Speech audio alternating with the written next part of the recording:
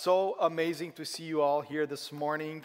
God is good. I love when I see uh, the fact that, you know, we have you noticed that God does not care how many people are um, listening to Him because He cares about the one, the one sheep, right? He leaves the 99 and comes back for the one, and that's important. Today might be the day when you might be that one, and that's okay too. That's okay. I want to um, talk today and, and share with you the, the text that we're going to cover, and it's in Matthew. Uh, Jenny, by the way, if you don't know who the, the blonde was that was here in the front the first time here, that's my wife, Jenny. I call her gorgeous. And the other thing that I also want to mention before I read the text is that whenever you hear Andrew go, wah, wah, you know, praise God for him. You know, so just thank you, Lord Jesus, for, for young ones here. Uh, the young ones that serve communion normally um, are out on a little vacation. And look at that beautiful weather. But um, if you have your scriptures with you, your Bibles with you, either electronic or paper, uh, turn please to Matthew chapter 5.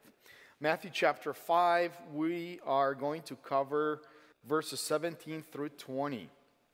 Um, so, Matthew chapter 5.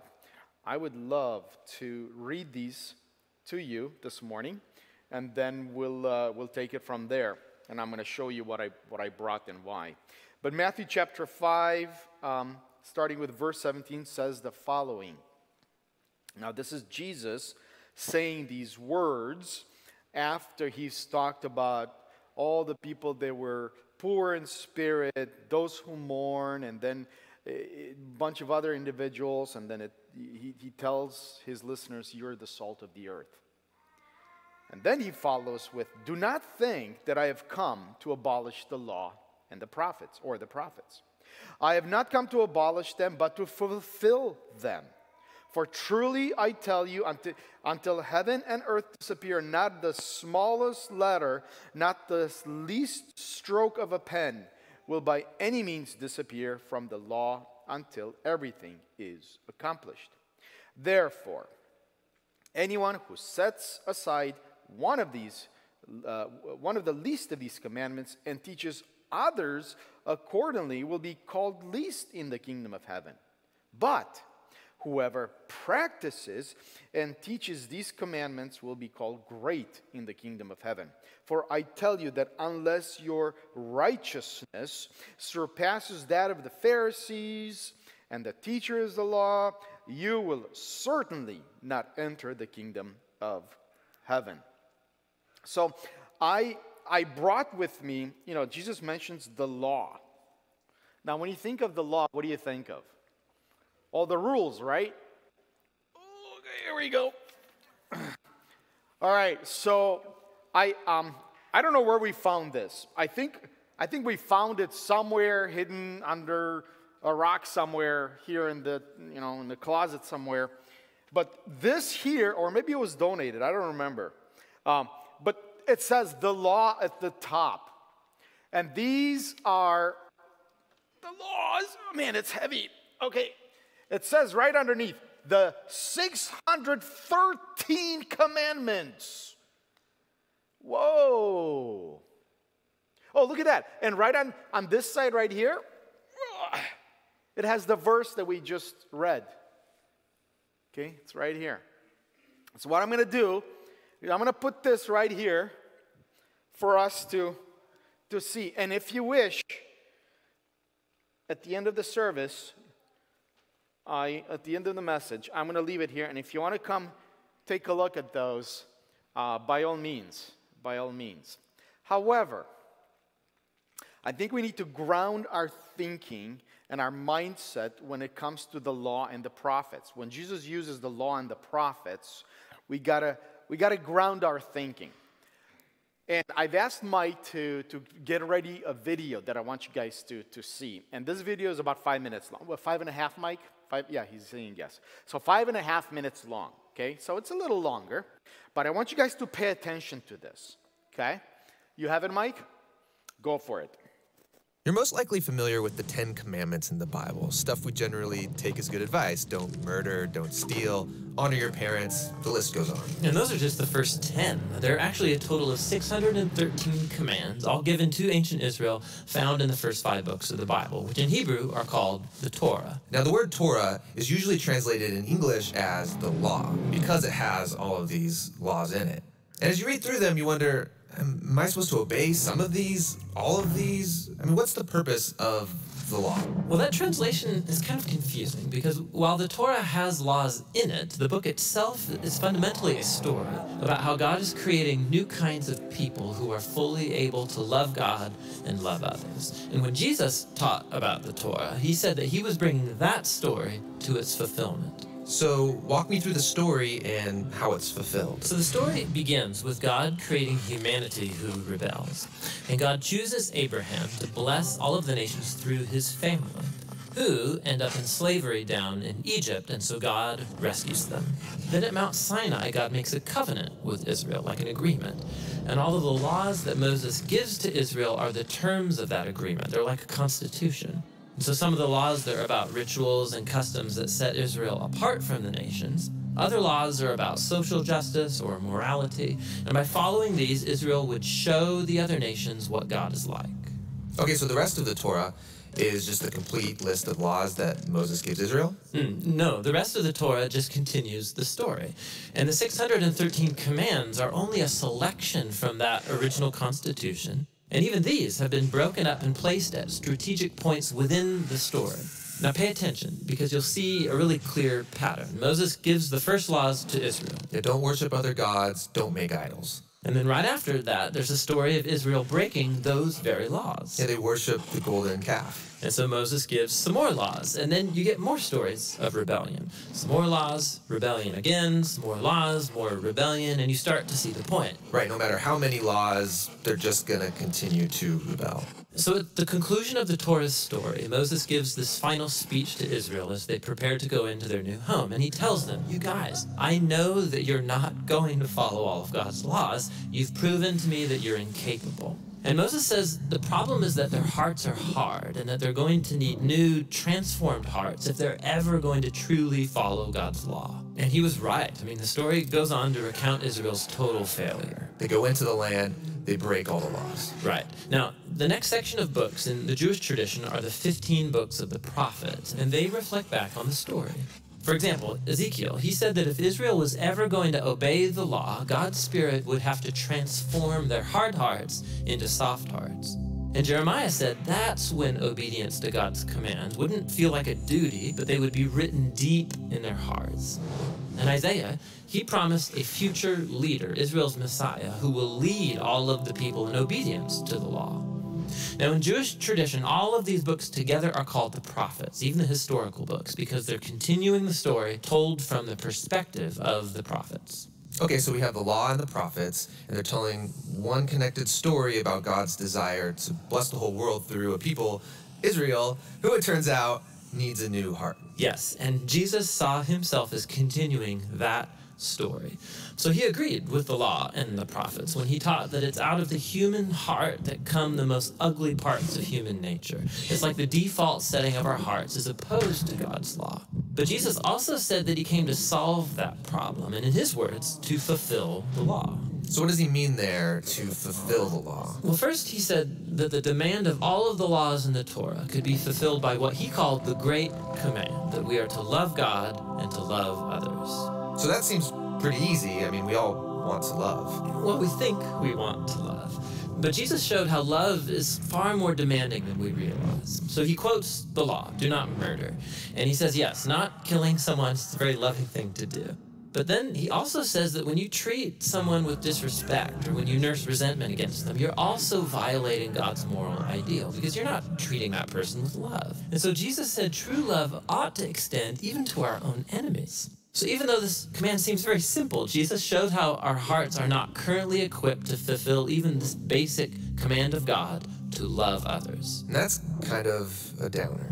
But where Israel failed, Jesus brought this story to its fulfillment. As Israel's Messiah, he fully loved God and others, and he showed all of the nations what God is truly like. He did this through his acts of compassion and mercy, and ultimately by loving his enemies even unto death. And after his resurrection, he told his followers that he would send God's Spirit to transform their hearts so that they could follow him and fulfill the purpose of the law to love God and to love their neighbor. So, this fulfills the story of the law and the prophets, or in the words of the Apostle Paul, the one who loves fulfills the law.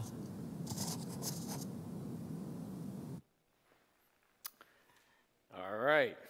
So that's that's the mindset that we need in order to get into these texts, these three verses. So here's, here's the, the, the first thing I want to do. I want to cover these verses. I want to highlight a few things in these verses so that we know what the text is saying. And then after that, we're going to say, well, how does this text apply to our 21st century context and living? And then we're going to get into some actions. What can we do? Okay, so the first thing that we heard in the video is that the law, the purpose is not these right? The purpose of the law and the prophets is not these, but rather the narrative, the story. And yes, it certainly includes laws, but the main idea is harmony and coexistence between human beings and harmony and coexistence between God and human beings. Okay? So that is the entire purpose of the law and the prophets harmony and coexistence between us. Now, what I want to do is I want to go into uh, verse 17 and unpack a little bit about this abolish and fulfill. Jesus said it is he's not here to he was he's not here to abolish the law but to fulfill the law. And I've heard all sorts of explanations like, well, you know, um, the Old Testament is done, we don't have to do these anymore. And to some extent, that's right. But these two words of abolish and fulfill are so much richer than that. Now, to abolish the law, what Jesus is saying is, I am not here to undermine or misrepresent the law because his contemporaries, the leaders, were accusing him. It's like, oh, well, he's teaching you the wrong thing. And Jesus saying, no, no, no, no, no, I'm not here to abolish the law. I am here to fulfill the law. And by the way, fulfill the law was a Jewish idiom, a Jewish expression. And it meant to properly interpret the law. So when Jesus is saying, I'm here to fulfill the law, he is saying, I'm here to show you what the law really means, to properly interpret. And he surely does that in the rest of the, the, the chapters. Like, yeah, you heard, you know, people say, don't, don't kill anybody. Well, it actually goes beyond that. So he is properly interpreting the, the law. Now, I want to show you something really, really, really cool because the first time I saw it, I was like, whoa, it just blows your mind a little bit. Verse 17 and verse 19 in, in this very uh, chapter right here, there's a parallel between them. Both verses talk about abolishing and fulfillment. Okay? In verse 17, Jesus is, up, is saying that I'm not here to abolish it, but to fulfill.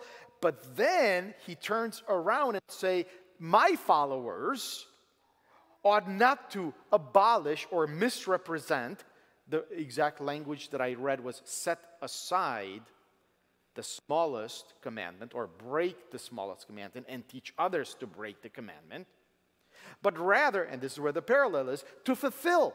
And what does that mean? Well, Jesus is saying, well, to fulfill in my followers the law means that they ought to practice and teach others to practice.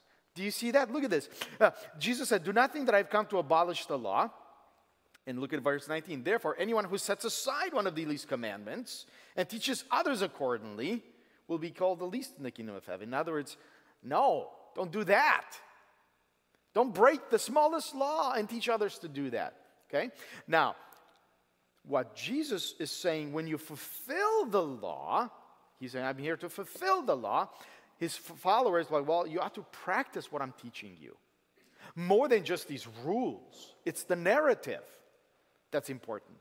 So, the narrative of harmony between human beings and between God and human beings is the fulfillment of the law. And as, as a matter of fact, the, the, the video mentioned Romans uh, chapter 13, verse 8. And if I was to turn to there, and, and did you see how quickly I turned? It's because I have a little, a little thing here that I used to go flip to Romans, you know? Uh, if you're not as fast as I am, you can just listen in, all right? So here, here, here it is. In Romans 13, uh, Romans 13, verse 8, it says, uh, Let no doubt remain outstanding, except the, the continuing debt to, debt to love one another. I like, I like that, the debt to love one another.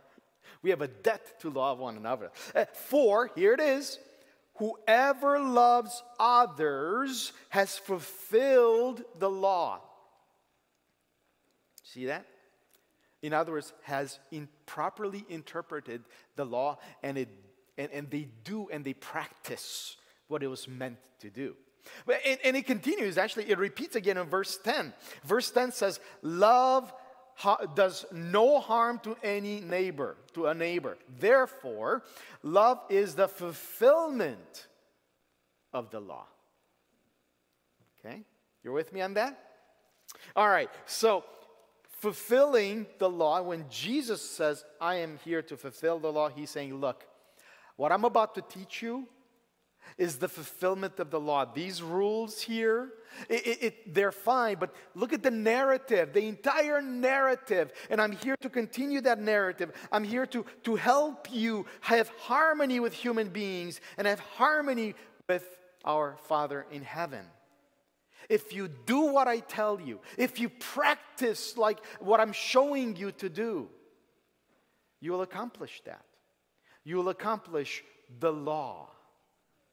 Now, the law, sometimes I, I use the word harmony, God's harmony. That's what he means. That is the law, the way they, the things as they ought to be. And then uh, verse 18 here in this text, it gives, gives additional uh, meaning about the law, about the narrative and its teaching, is that they will last.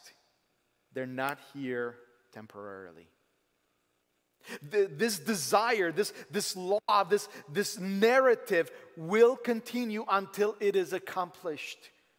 Make no mistake, Jesus is saying, nothing on earth will affect the law. Eh, the earth and heavens, the created realms will disappear first before the narrative. And the narrative, this harmony, he's saying, that is my purpose. And that is what I'm here to show you.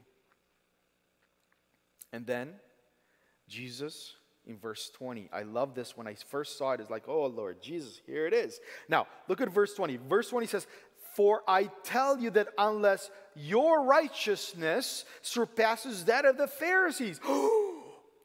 what? The Pharisees and the teachers of the law? Oh my gosh, do you know? How strict these people are in, in following all these? You want us to be more than that? Are you kidding me? But what Jesus is saying, look, look, you won't be able to do that. I came so that I can fulfill, I am the fulfillment of the law and the narrative so that you can have that right living. It's impossible for you to do the right living. The law, the narrative showed it, as the video said. They kept on breaking, they kept on falling, and they kept on rebelling. Jesus is saying, look, unless you reach this, there's no way. And it's impossible for you to do that. That's why I'm here. I am here not to abolish the law, but to fulfill the law so that your righteousness rises to the level that it is intended to be at. Righteousness, by the way, is right living. And Jesus is saying, look, the right living that I am offering you, you keep on, you keep on practicing my commandments, you keep on doing what I'm, what I'm telling you to do, and then you go and teach others to do the same. You are beginning to experience what it means to have the right kind of lifestyle, the right kind of living. That's righteousness. Righteousness means the right kind of living. And Jesus is saying, Look, there's no way, unless you're like the Pharisees or better, there's no way you can do it.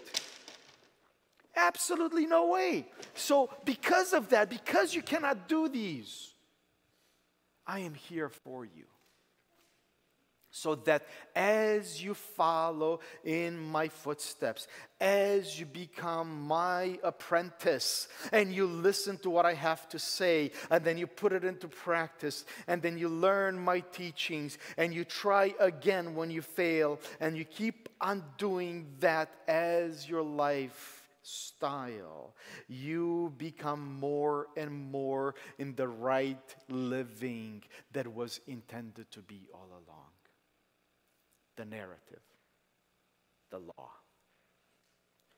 And that's what this text is all about. Okay, so what do we do with it? How do we apply it to the 21st century? After all, it's been over 2,000 years since he has said these words, and he said that nothing's going to pass. So the first application here is that God's narrative continues. God's narrative continues to this very day. The goal remains the same harmony between human beings and harmony between God and humanity.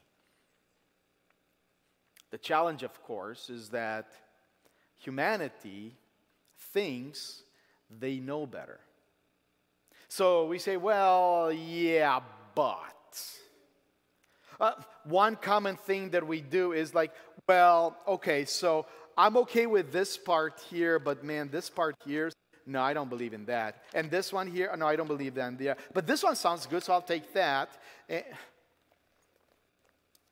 it ain't a menu. Last time I checked, it ain't a menu. Yeah, I'll have uh, two of these with ketchup and fries, please. I mean, no. The narrative continues. And the question is do we align with the narrative or do we make stuff up? Do we align with what he has put into, into, into motion? Or do we think we know better? Especially when we go, God, you're sure about this? That doesn't seem right. You know, maybe you ought to do this. Trust me. Who's the boss? Yeah. And oftentimes says, well, we are so much more evolved now. We are in the 21st century. And we've learned so much from history. We know what human beings ought to be like. So therefore, we're going to make our own rules. And we make those rules and we get all sorts of silliness on social media where people don't know what a man is or what a woman is or who knows what else. A lot of silliness. It's like, wait, what? I, I, Lord, I thought your harmony, okay, well, how do you see it? What's your harmony like? Well, let's go back to the law and prophets, which is the narrative. We don't have to necessarily agree or comprehend it. We just have to trust it. There's so many times when, and I'm reading through the scripture and I'm like, okay, Lord, so I understand what this is, but you want me to love who? My enemies? That don't feel right. I don't like doing it. You know what? I much rather love those that love me. I much rather be nice to those who are nice to me. As a matter of fact, you know what? I've I heard people say, if you're nice to me, I'm going to be nice to you. You know where I found that in? And this is sort of scary. I actually, this is part of the. Have you heard of the Satanic Bible? Yeah, it's in there.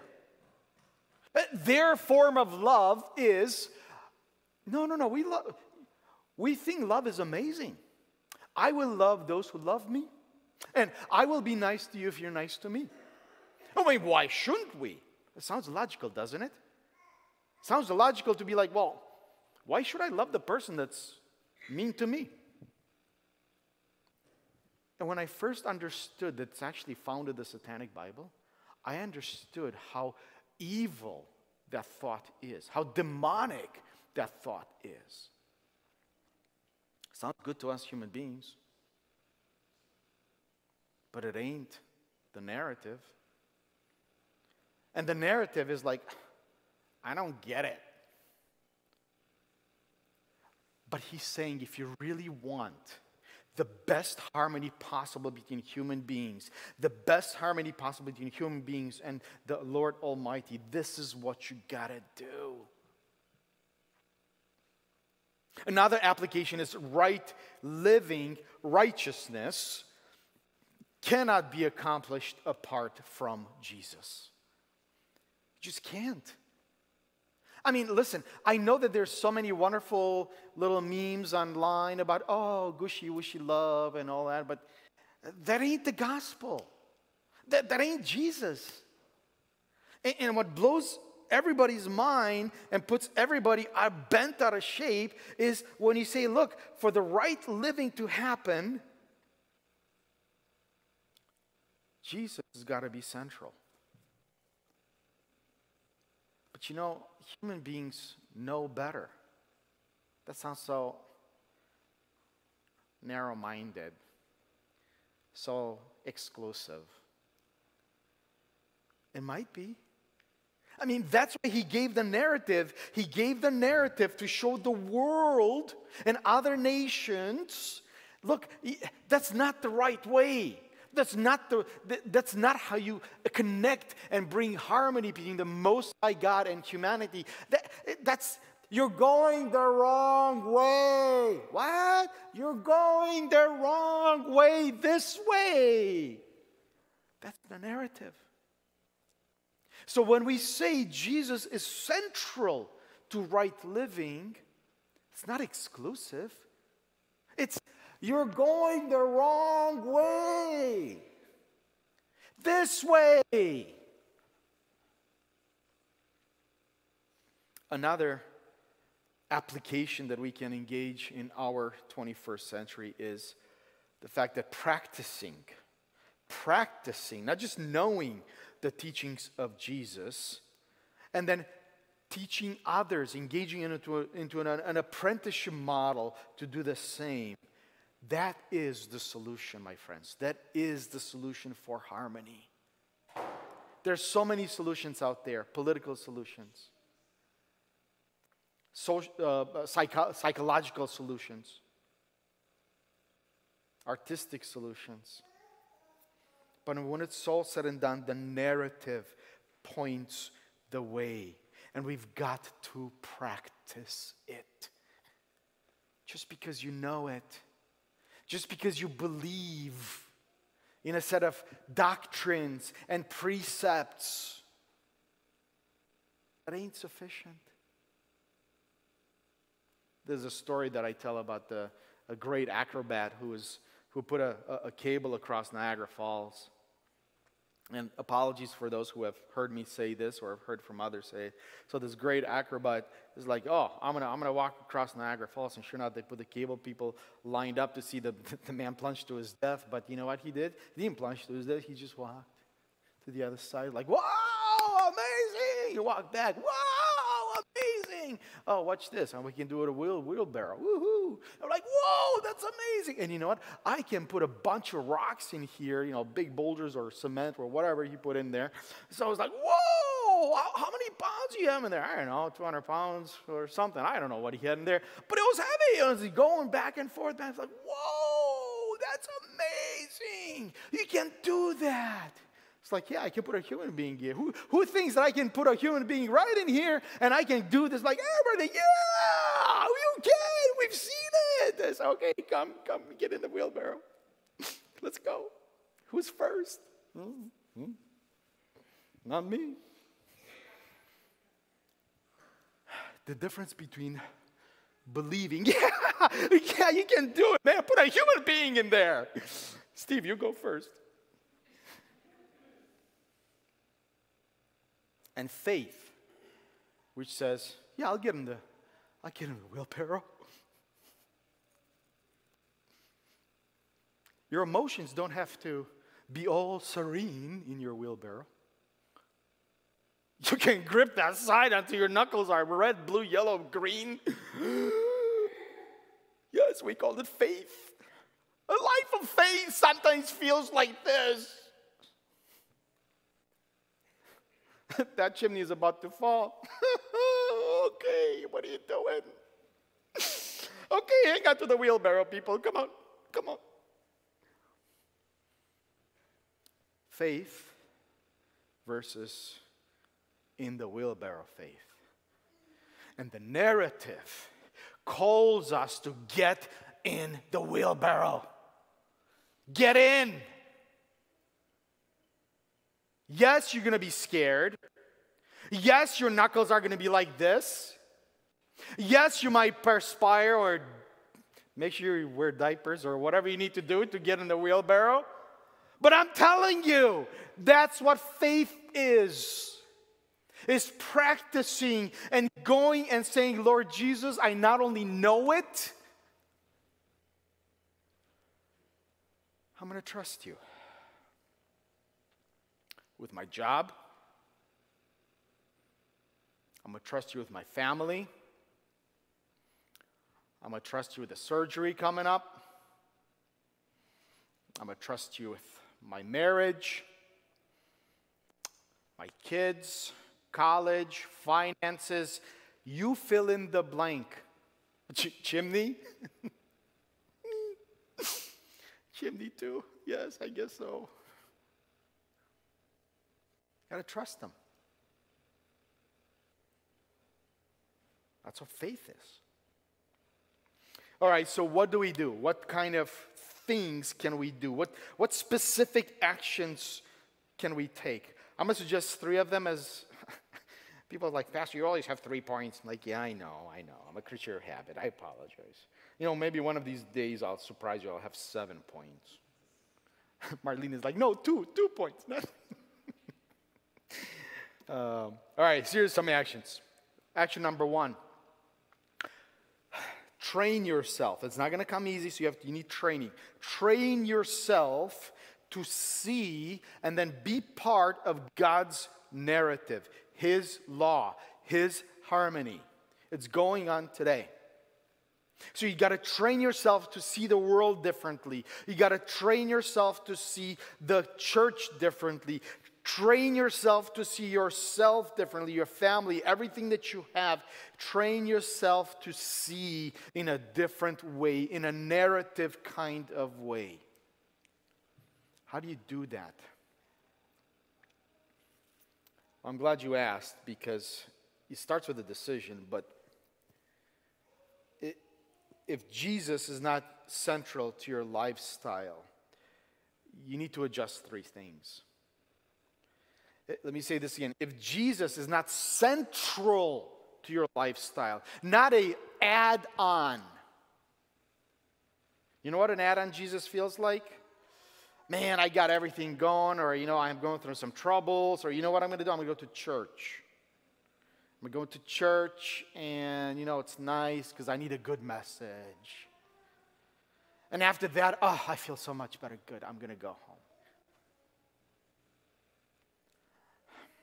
A good message is nice, but then is Jesus central to your Monday, Tuesday, Wednesday, Thursday?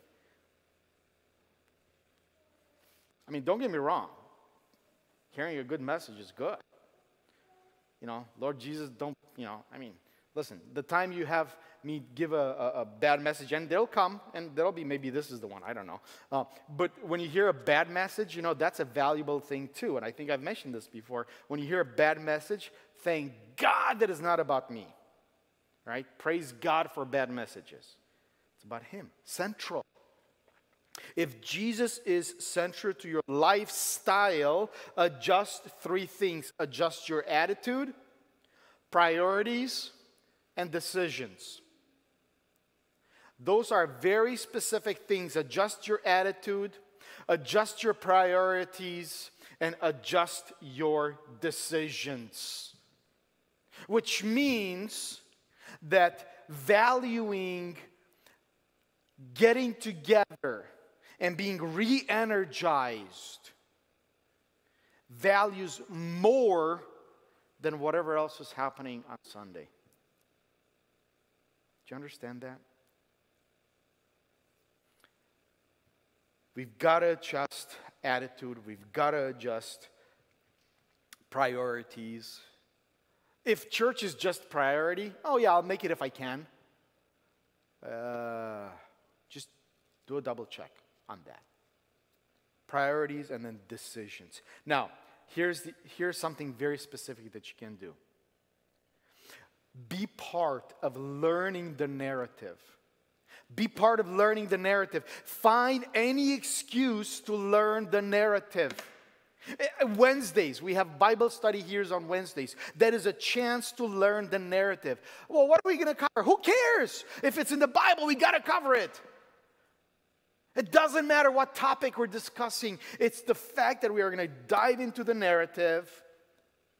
So come be part of the community Bible study on Wednesdays at 7 o'clock.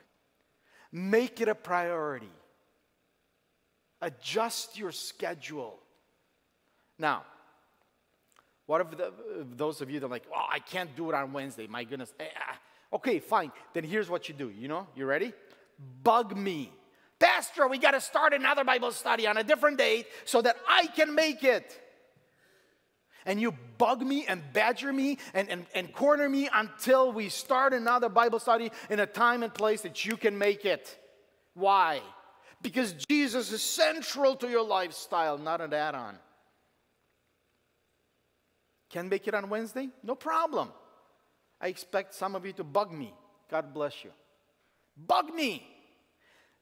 Be after me to start another one. And we'll figure it out. Wednesday, 7 o'clock. It's a good time to get into the narrative. Because if we don't know the narrative and don't study the narrative, we don't know the teachings of the Master. And we can't see his example and how we put it into practice and how we become apprentices moment by moment part of the lifestyle.